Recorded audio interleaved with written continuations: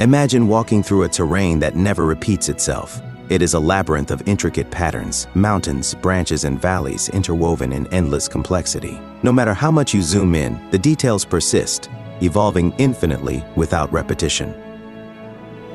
Such a journey compels you to ask two profound questions. What lies at the end of this road? Who or what created all of this? The answer to the first question might appear simple at first glance. If it is proven, and you believe, that this road stretches infinitely, then every conceivable possibility must eventually arise. Shapes of all kinds will emerge along the way. You might even witness the letters of this story materializing before your eyes, or perhaps something resembling your own face. It is only a matter of time. The second question, however, is far more intriguing. Who could have crafted such an infinitely complex terrain? You might conclude that the creator must possess infinite power. This is no random collection of data. You observe intricate structures that never end. The existence of this infinite terrain suggests a creator with boundless skill and creative capacity. But this is not entirely true.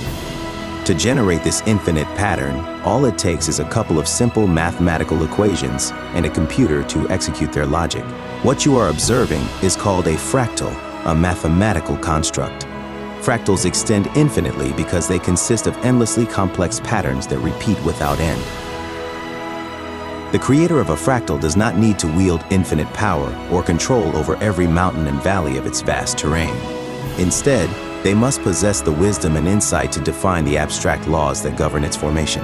Another important conclusion is that the creator must exist outside the reality of this infinite complexity.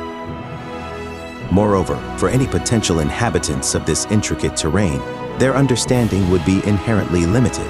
Living within the fractal, they might grasp only a tiny portion of its structure. They could never fully comprehend how it was created, as studying a fragment of the fractal cannot reveal the abstract algorithm behind its design. One question often arises, if God exists, why would he create such a vast universe to host humans on a tiny planet?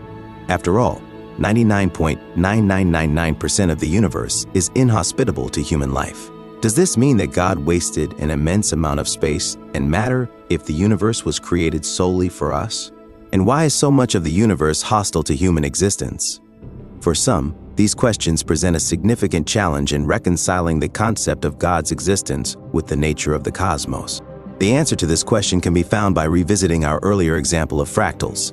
This universe is vast not because it had to be, but because creating such an infinite expanse can be as simple as creating a single galaxy, or even an atom. The creator of our universe, if he exists, does not necessarily need infinite power or direct control over every galaxy, star, planet, or atom. By conceiving abstract ideas and establishing fundamental principles through intelligent algorithms, the vast and infinitely complex universe could naturally unfold. Much like intricate fractals emerge from simple mathematical rules, this creator would need wisdom, not control over every small detail of the physical world. His role would be to conceive and design the foundational laws that bring the universe into existence. The creator might embody the very essence of the world of abstract ideas. From a religious perspective, the vastness of the universe reflects God's infinite power. But this example with fractals demonstrates that even a simple idea can generate an infinitely complex reality. God does not need to be infinitely powerful in a physical sense, he needs to be infinitely wise.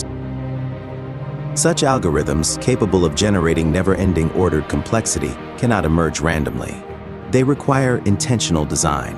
Infinite chaos lacks the capacity to produce such algorithms because of a fundamental limitation, the overwhelming tendency for any self-assembled order to collapse into disorder. The infinite potential for self-destruction inherent in chaotic systems makes the spontaneous formation of such ordered structures highly improbable. Remarkably, it is only in recent times that humans have discovered and developed these extraordinary algorithms. As with fractals, a designer must possess the ability to reason logically and think abstractly when crafting a finite set of mathematical rules capable of generating the infinite complexity of our universe. These rules, the laws of nature, govern how the universe looks and functions from within. Do we have evidence that fractal-like algorithms form the foundation of our world? Yes, we do. Across vast scales of the universe, scientists use fractal mathematics to describe the clustering of galaxies. In the microworld, the behavior of elementary particles produced in high-energy collision experiments, such as those conducted at CERN, can also be analyzed using fractal principles. Since the 1980s, scientists have known that the pure energy released during the annihilation of two accelerated particles, such as an electron and its antiparticle, produces complex, fractal-like patterns of observable particles. These structures made of measurable particles can be described using the same mathematical formalism that characterizes the hierarchical patterns of fractals, like those shown in this video. There is something else you may learn about the universe using fractals. A functioning universe cannot create the foundational laws upon which its existence depends. These laws must be intelligently established before the universe can come into being.